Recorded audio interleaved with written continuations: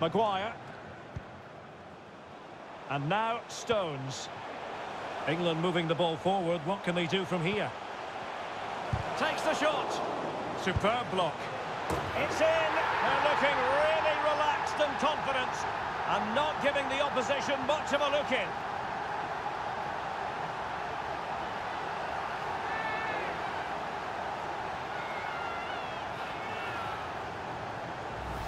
Well, as you can see, this is a wonderful strike. He makes the perfect connection, and he has so much pace on it. It's a great goal.